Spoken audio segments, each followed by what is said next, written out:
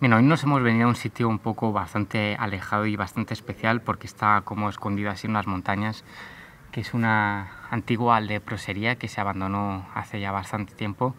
Y bueno, fuera de lo que fuera el abandono, este es un sitio también bastante mágico para mí porque fue como el primer sitio con el que yo empecé a conocer a gente con esto de los abandonos, ya que por aquel entonces, hace dos años más o menos, a través del Club Cela, pues conocí a Rafa, que es el que me suele acompañar en cuando voy a las exploraciones. Y pues había un post que hablaba sobre este sitio y los dos nos interesamos bastante para ir a visitarlo. Y fijaros que han tenido que pasar casi dos años para que vengamos aquí. Y bueno nuestra pretensión es un poco explorarlo dormir aquí pasarlo bien y sobre todo documentar el sitio porque es bastante interesante. Y bueno como veis el sitio este es bastante grande que este era como el edificio principal que era el hospital que está ahí puesto. Y como veis está formado por un montón de edificios. Ah, no se puede estar aquí. Ah. Vale, es que estamos por el sendero y hemos visto de repente... Ya, que no se puede subir tampoco por el sendero ahí. Están los edificios que han hundido por ahí muchos. Nos han hecho aquí, venga a romper todo y han roto todo esto. Y no es por nada, sino que alguno que encima se le caiga, pues por, por, ejemplo, como se ha caído lo de la cocina y que le pille a uno. Voy a tener que hablar con el ayuntamiento para que pongan, por lo menos, que han quitado el cartel, otro prohibido. No, ha habido banda, ha habido de todo, ha habido de borra. Hemos cogido algunos. Ahora mismo utilizan los geos, decía, para formar a los nuevos. Y claro, no quieren que venga nadie. Esto era un pueblo. Y éramos 325 enfermos y 300 empleados. Esto era un pueblo.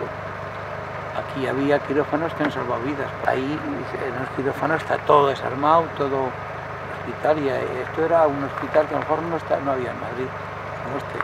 Porque sabéis que la, la, enfermedad de la lepra es de la piel, sobre todo. Y injertos y todo hacían aquí barbaridades. Y ahora es pena, es una pena. es una pena. Pero que es lo que hay. Las mujeres estaban abajo. Antes era Franco. Claro, claro, estaba... Entonces, sí.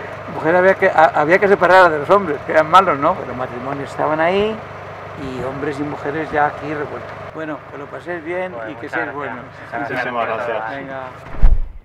Hemos dejado aquí todos nuestros enseres como comida y cosas voluminosas y vamos a hacer ahora una exploración un poco por fuera, todavía así muy ligera, simplemente para ver las cosas por fuera y luego pues ya de que adentro un poco más la noche ya entraremos. Esta es la razón por la que no querían que entráramos dentro, porque es que mirad cómo está todo el techo, son maderitas súper finas.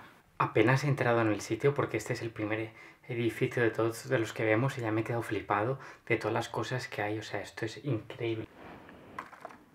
Esto sería más o menos así.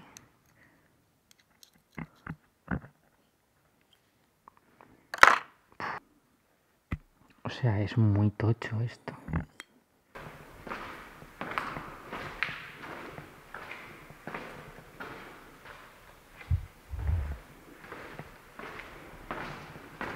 Reconozco que es un poco tétrico lo que es venir a un hospital que está abandonado y sentir que estás en plan como que tú estás solo y solo escuchas silencio.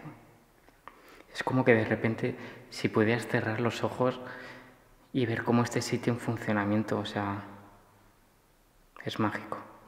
Vale, como veis esto está como bastante, bastante revuelto, que se supone que era la zona de rayos X. Fijaros aquí todos los papeles que hay del sitio.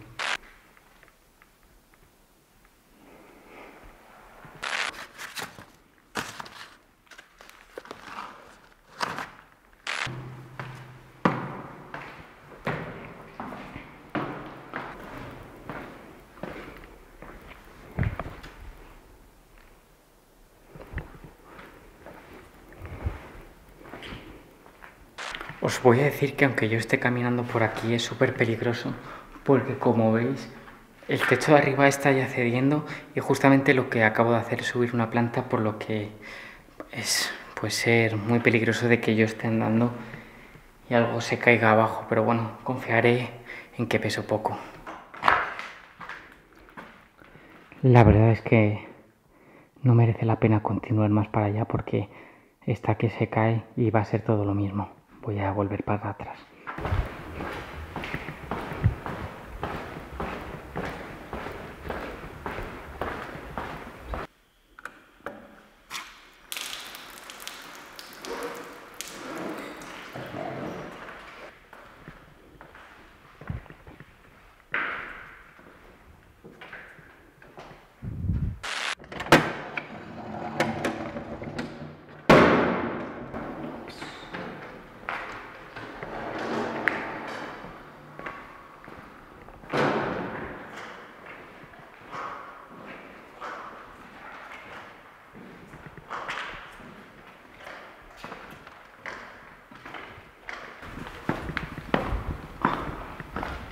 Vale. Ahora mismo sala de televisión. Esto os digo de verdad que da mal rollo. Y para que yo diga eso...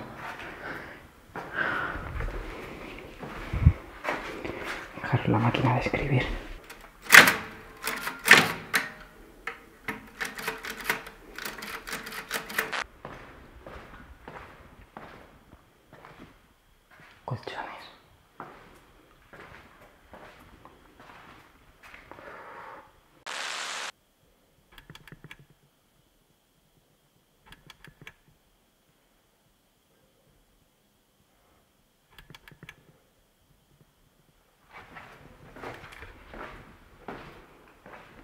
Estamos ahora mismo en el edificio principal, que era como la zona de enfermería.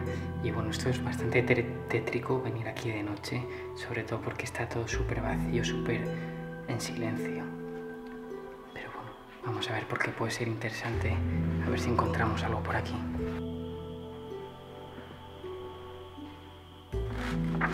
Facturas, facturas,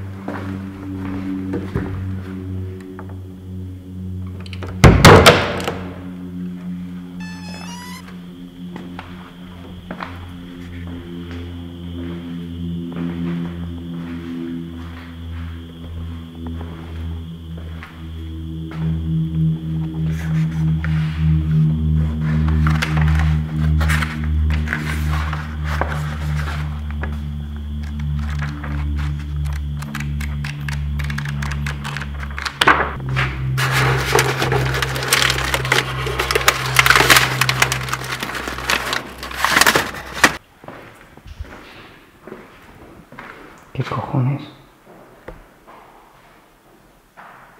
La cantidad de, de platos y vajilla que hay por aquí es increíble. Que era todo esto por aquí.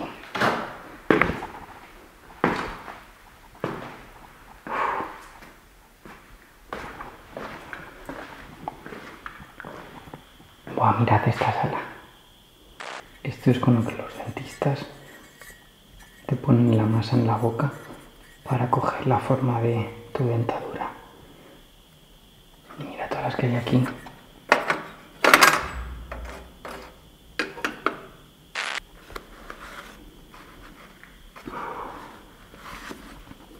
Todo esto, todo esto es instrumental de dentista. Fijaros.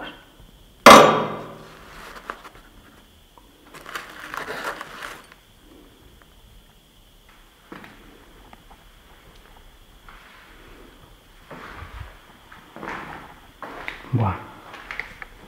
Mira que esta, esta silla es de las antiguas antiguas, pero muy antigua.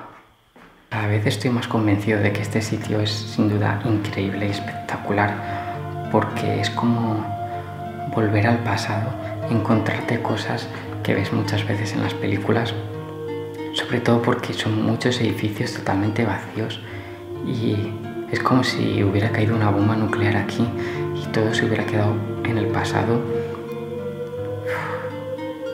Esto es increíble, pero también a la vez que increíble es bastante tétrico todas las cosas que puedes ver por aquí, cuánto dolor y sufrimiento pueden haber soportado estas paredes.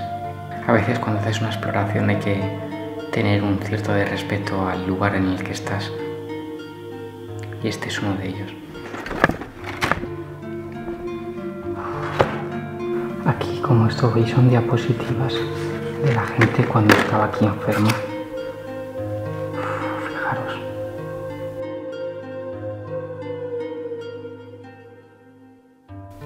Ya ves qué tétrico esto. Esto es la extremidad de una persona que sin duda se ha quedado sin pie. Literalmente es un muñón. A esto me refería yo cuando venía aquí, la cantidad de sufrimiento que ha tenido que pasar la gente aquí para pasar esta enfermedad, porque la lepra no es algo pasajero, o sea, no es algo que sea para tomárselo a risas, es algo muy serio y algo con la que se sufre mucho, un montón, es una enfermedad terrible y esta es el como las consecuencias que yo puedo ver y el resultado de ver a todas estas personas que estaban aquí internas, el sufrimiento que pudieron pasar para tener esta enfermedad. María me pide que le cure la herida del brazo porque se le ha levantado la costra y le sangra. Manolo pasea por el pasillo, le doy un almax después de la cama. Llama a sus familias, llama a su familia, hermano. Le administro colirios a Pedro y Teresa. Todo esto son las intervenciones que hacían los enfermeros aquí, como veis, estaban por días y por día, por días y por mañana y tarde.